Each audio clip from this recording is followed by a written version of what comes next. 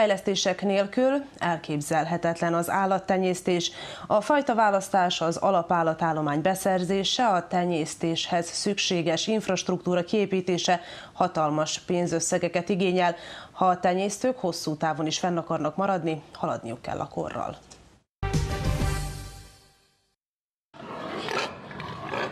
Végeláthatatlan sorban röfögnek dusnokiék keletbiai óriában a disznók. Fiatal gazda a fejlesztésének köszönhetően tudta kiépíteni a farmját.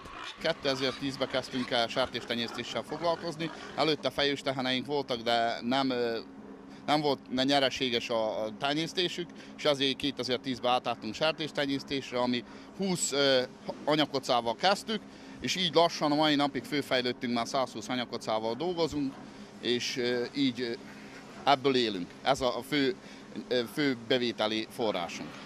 Milyen, milyen fajta ö, alapállatánybolományjal ö, dolgoztok, és hogyan tudjátok ezt ö, beszerezni? Főleg jogsír anyállatjaink vannak, akiket, F, szóval akikből csinálunk F1-es anyakocákat, amiket aztán azokat hagyjuk kocának, és annak a malacai pedig hizlaljuk, és hát ebbe a szakemberek belesegítenek, hogy hogy kell ezt csinálni. A sertéstenyésztők az utóbbi időben sokszor panaszkodnak, hogy nem tudnak nyereséget termelni. Csaba szerint csak profi alapon éri meg a hízlalás. Ez a dolog szerintem attól lehet nyereséges, ha az ember profin csinálja a dolgot, mindenre odafigyel, sok malac darabszám van a koca alatt, az főleg fontos dolog, és még hogy, hogy főleg a földeken, hogy megtermeljük a saját magunknak a takarmányokat a, a farmnak a fejlesztésébe, vagy a gazdaságnak a fejlesztésébe ö, igénybe szoktatok-e venni támogatásokat, illetve ö, mik, mik azok, amire leg, legjobban szükségetek van, milyen támogatásra? Hát a mezőgazdasági minisztérium támogatott bennünket, jószág általai támogatás van, amit anyállatra kapunk, és aztán hízósártés után van ezer dináros támogatás minden átadott hízósártés után még a felszerelésre is kaptunk támogatást, egy bizonyos százalékát a minisztérium vissza, visszautalta a számlánkra, vagyis kifizette.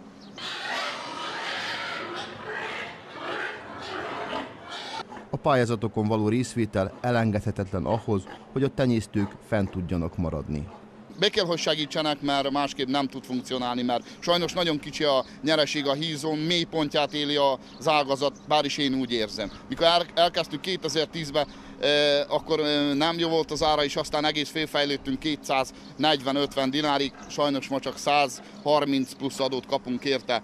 Ez is egy farmjár, ami, ami ha, ha megfelelő minőségű az áru, csak akkor kapjuk. A juhtenyésztés az utóbbi években egyre jobban visszakerül az állattenyésztők látókörébe Vajdaságban. Kassa Csongor is ebben látja a kitörési lehetőséget. Jelen állapotban a leggazdaságosabb a fajta ugye a, a, a, a juhok. Gyakorlatilag ott megmaradt az állami támogatás, és a, és a, a piaci ára is nagyon szép, az, és stabilan szép az elmúlt három-négy évre visszamenőleg. Csongor részt vett a Prosperitáti Alapítvány állattenyésztésre vonatkozó pályázatán.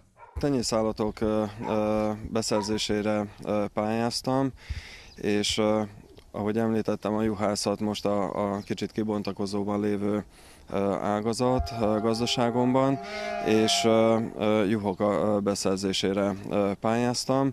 Egy új fajtát szeretem volna, illetve úgy néz ki, hogy meg is valósul.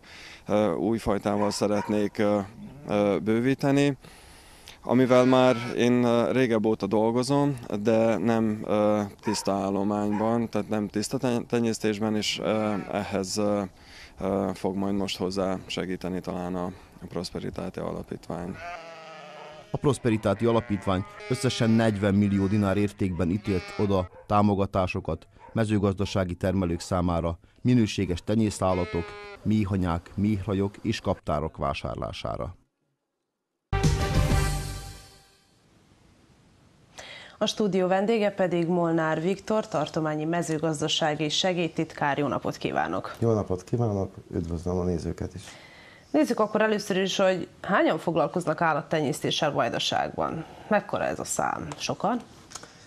Hát a gazdaság számot pontosan nem tudnák mondani, de azok, akik ma is még állattenyésztéssel foglalkoznak, azok mind komolyabban állnak hozzá, ugyanis a piaci követelmények nagyon megváltoztak az utóbbi néhány évben. Sajnos vajdasági szinten a házi állatok, tehát tenyésztett házi állatok létszáma folyamatos csökkenést mutat, de ami viszont örvendetes tény, hogy a minőségi tenyészállatok, tehát törzskönyvezett tenyészállatok száma viszont folyamatosan növekszik. Úgy a szarvasmarhák esetében, részben a sertések esetében is, és ez azért fontos, mert akkor akár a hús hasznú, akár a tejhasznú egyedek esetében a produktivitás az lehetőleg minél jobb, illetve a fajtától függően maximális, és remélhetőleg így ki is fizetődik a, azon egyedek tartása. Azt mondja, hogy komolyabban állnak hozzá a tenyésztők. Ez mit jelent? Ez azt jelenti, hogy sajnos azok a, a kisebb állatlétszámmal bíró tenyésztők, akik az utóbbi években nem tudták tartani a piaci versenyt, lemorzsolódtak, viszont a közepes és nagyobb termelők, tehát gondolok itt 30-50 tehén szám feletti állattartókra, illetve 80-100, illetve a fölötti sertéslétszámot tartókra. Ezek többé-kevésbé megmaradtak, fejlesztenek, az épületeiket kibővítik, új felszerelést szereznek be, új farmokat, épületeket építenek. Tulajdonképpen ez nagyon fontos, mert itt Szerbiában is már állatvédelmi törvény új meg lett hozva, és hát bizonyos állatjóléti rendszabályok vannak, amiket be kell tartani, akár négyzetméterre vonatkozólag, hogy mennyit kell biztosítani egy-egy állategyednek, meg hát a megfelelő tartási, higiéni körülmények biztosítása az nagyon meg tudja könnyíteni az állattartók munkáját, mert a veszteségeket egyrészt minimálisra tudja csökkenteni, a produktivitás viszont maximális lesz. Ezek a számok, amiket említett az állatállomány szempontjából, akkor ezek szerint ez alatt nem is érdemes állatot tartani, vagy érdemes, csak nem tudnak megélni belőle a gazdák? Igen, a tendencia az, hogy csak is közepes vagy nagyobb állományokat érdemes tartani. Hát hobbi szinten tartanak, illetve a saját részre a, az emberek vagy a regisztrált gazdaságok is, de sajnos mi ö, Szerbiában még nincs olyan ö, rendelet, amely ö, mondjuk kisebb létszámú állategyedeket tartók esetében a produktumokat lehet, hogy legyen az tej vagy hús, annak a földolgozását lehetővé tenni könnyített módon, tehát könnyített higiéniai körülmények között, és annak a produktumoknak, termékeknek az eladását is lehetővé tenni. Így sajnos a kis létszámú házi állatot tartók, azok mind jobban lemorzsolódnak, eladják állományaikat, viszont aki komolyan foglalkozik ezzel, és vannak többen, akár a szarvasmarhatartók, akár a sertéstartók, új vonalakat, új hibrideket hoznak be, és hát a leg lehető legjobb körülményeket és a legjobb tartási és takarmányozási körülményeket biztosítva úgy, ahogy pozitívra is ki tudnak jönni. Természetesen nem kell elfelejteni, mind ahogy a bejátszásban is lehetett hallani, hogy a, az állattartók mind jobban követik a különböző lehetőségeket, pályázási lehetőségeket, költségvisszatérítést, vagy nagyon kedvezményes kölcsönöket, és hát ilyenek vannak úgy a tartományi szinten, mint a Belgrád minisztériumban is. Igen, erre szerettem volna kitérni egyébként, mert hogy mondta, hogy fejlesztenek a közepes és a nagy vállalkozók, tehát az állattenyésztők, akik több állatot tartanak, ők fejlesztenek és belefektetnek abba, hogy még több legyen és hasznot hozzanak. Ezt nem tudják önerőből megtenni, valahol pályáznak, és hol tudnak pályázni a köztársaságnál, tartománynál, és most itt van a Prosperitáti Alapítvány is. Így van A, azzal a különbséggel, hogy három típusú lehetőség van. Egyrészt kölcsönök felvétele, ami hát az utóbbi időben mind kedvezményesebb kölcsönöket pályázati rendszerben próbál biztosítani akár a minisztérium, de különösen a tartomány, tehát egy meg két százalékos éves kamatú kölcsönökről van szó, és itt akár tenyészállatokat, akár különböző farmi felszerelést, sőt a vajdasági fejlesztési alapnál még épület építésre, rekonstrukcióra is lehetett pályázni.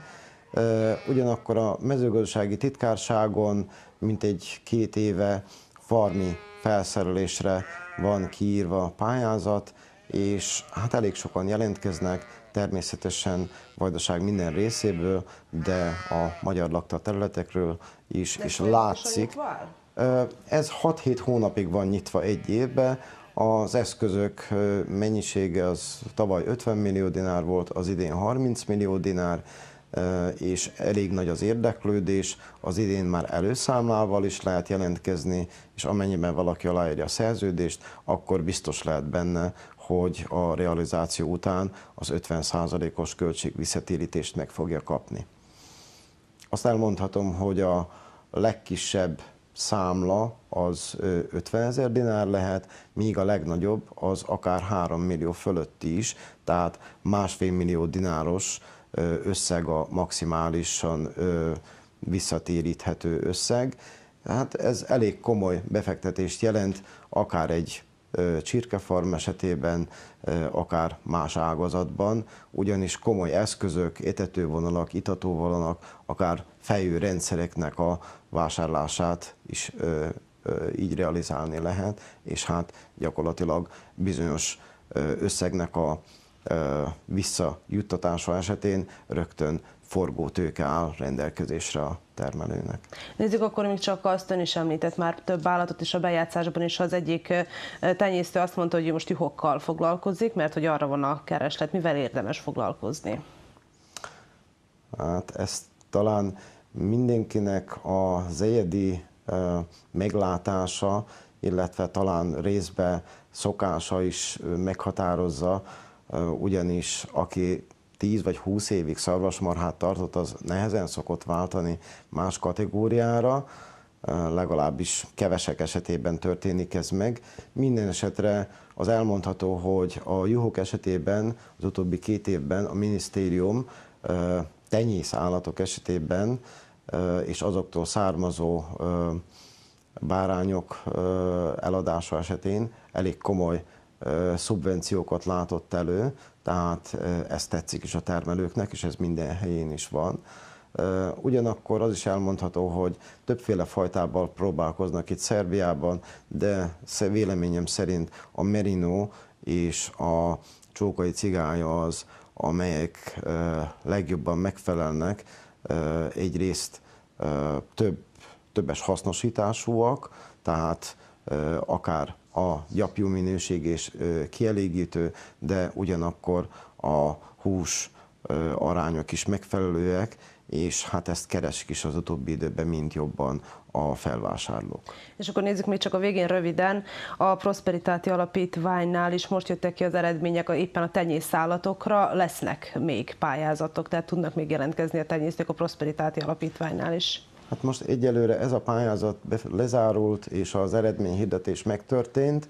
Természetesen az eddig kiírt Prosperitáti Alapítványnál kiírt pályázatok kicsit más jellegűek, ugyanis részben itt arról van szó, hogy sokkal nagyobb támogatást kapnak a pályázók, a legtöbb esetben csak 20% önrészsel kell rendelkezniük, és 80%-os támogatást kapnak. Hát a CRB vagy akár uniós szinten is nem léteznek ilyen jellegű támogatási formák, de ugyanakkor szükségük is van rá termelőknek, akár melyik kategóriáról, pályázati formáról van szó, Természetesen mindenki szeretne megújulni a termelésébe, jó minőségű tenyészállatokat vásárolni, vagy éppen a méhészek esetében sokan még 20-25-30 kaptárral is mondjuk erősen hobbi szinten foglalkoznak, de amennyiben lehetőségük van támogatott formában további 30-40-50 kaptárt, illetve rajt vásárolni, hát akkor már olyan komoly még állományuk lesz, amiből hát talán kis hiány már meg is lehet élni. De hogy ön is mondta, a termelők, tenyésztők figyelik a pályázatokat, hogyha Igen. szeretnének fejlődni. Molnár Viktor, köszönöm szépen, hogy a vendégünk volt. Köszönöm én is.